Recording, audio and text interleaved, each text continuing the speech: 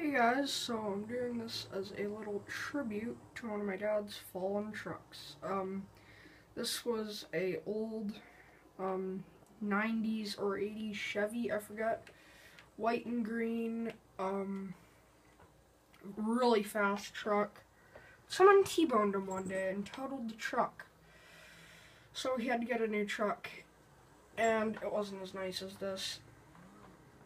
So yeah, I just made it in front of Beeker's garage here and uh, customized it to look like my dad's old truck. And yeah, I, I honestly think I did a pretty good job. It goes fast. I put the turbo and stuff on it like his old baby used to go.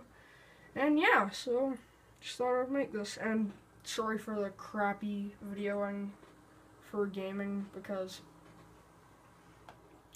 have my internet hooked up to my PlayStation yet, so I have to just do it this if I want to film something. I should get like a tripod for my phone or something. Oop, sorry, just went first person. Okay, there we go. So yeah, um, uh, I will see you all later. Bye bye.